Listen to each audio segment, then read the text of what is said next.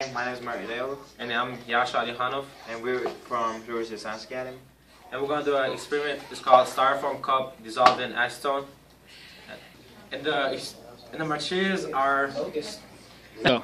And the materials are we're gonna use is acetone. a styrofoam cup. And we're going to start the experiment right now. And we're going to put the styrofoam cup in. As we see, it's dissolving. Well, we, we'll press it down, it's going to get faster. And there are two principles while doing this experiment polarity and solubility. Solubility is ab- ability of one thing to dissolve in something else. In this case, styrofoam cups are soluble in acetone. Polarity is the presence of a charging object. Now as we put Yeah, we more, can- we can put more. a little bit cooler. Uh,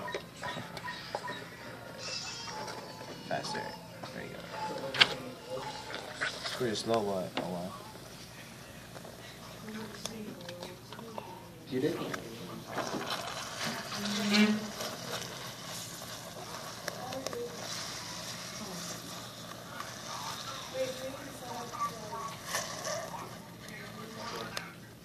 Be careful, don't put your finger in there.